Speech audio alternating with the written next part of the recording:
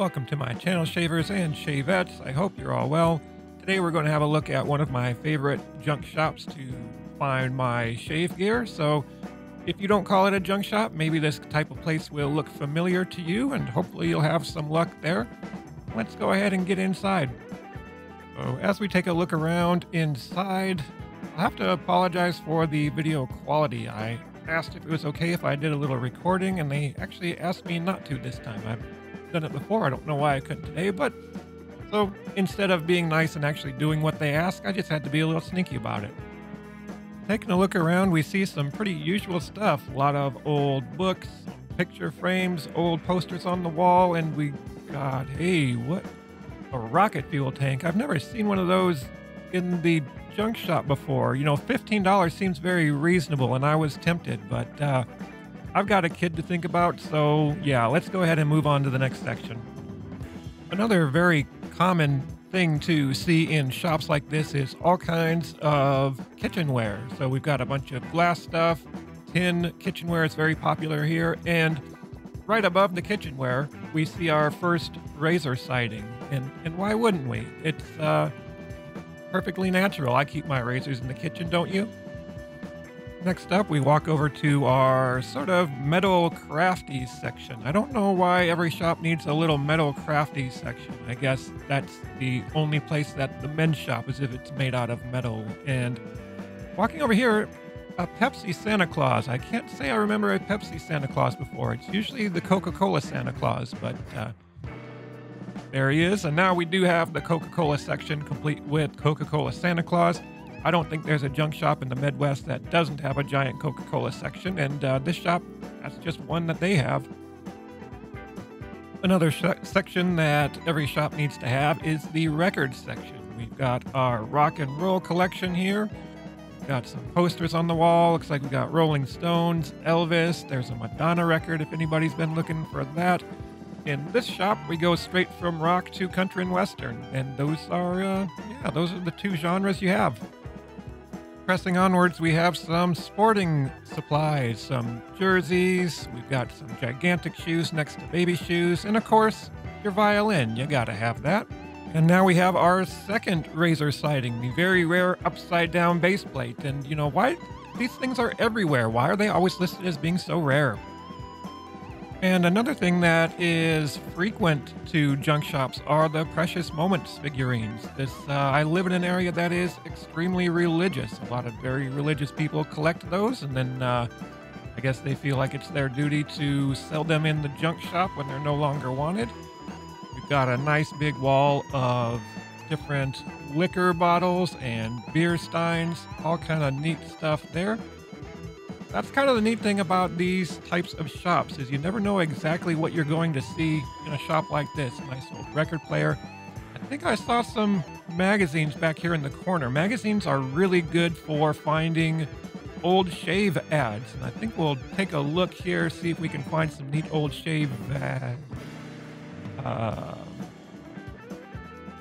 yeah, I'll, I'll, I'll, I'll, I'll, I'll just thumb through these off camera. I'll let you know if I find anything good.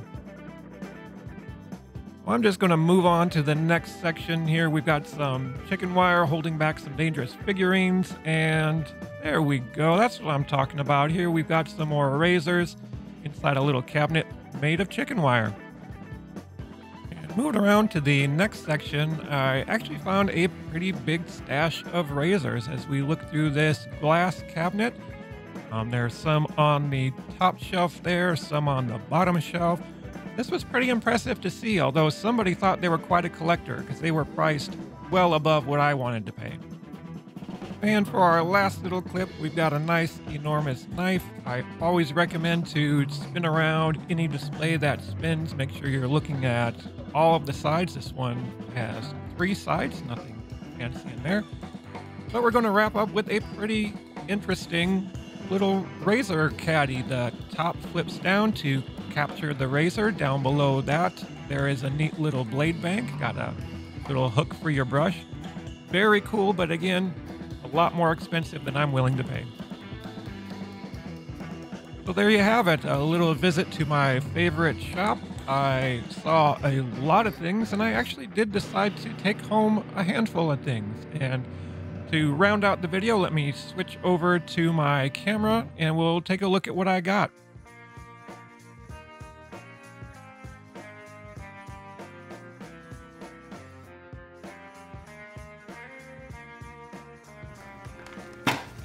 All right, so I'm back home. Time to take a look and see what I decided to bring home. Before I do that though, just to let you know, this was an extremely lucky day at the junk shop. I might go there 20 times before finding even one razor I want to bring home with me.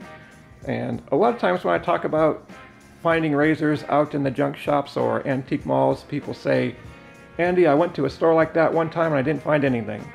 And my only answer is, yeah, I believe it. I've been to that same store a hundred times and didn't find anything.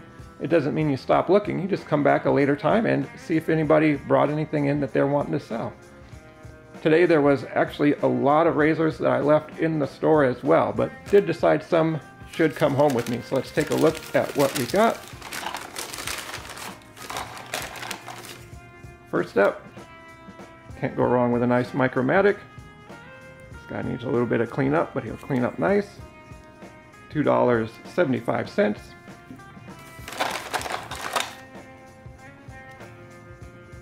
Got a super speed in pretty nice condition. Seller cleaned this one up before selling it, that's why it costs a little more, $5.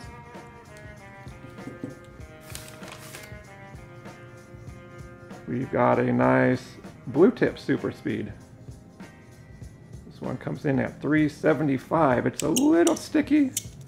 I think it'll clean up just fine though, getting all those old hard water deposits and such off of there. Got a really dirty caked on grime super speed here, but this one I'll show in a future video of how I clean up razors after I get them. $3.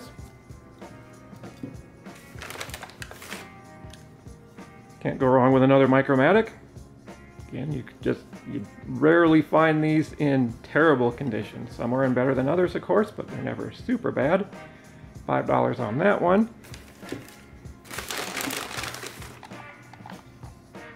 Got another nice gem. This one's the heavy flat top. Another razor that just, man, you'd never see them in terrible condition. They're always looking really good.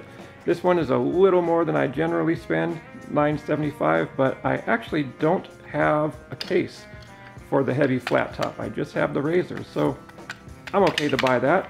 Got a case for them. And then the last one, another case razor. This case is in really rough condition. Uh, we've got a nice Sheridan. This one's got eh, quite a bit of cleanup that needs to be done. Got some uh,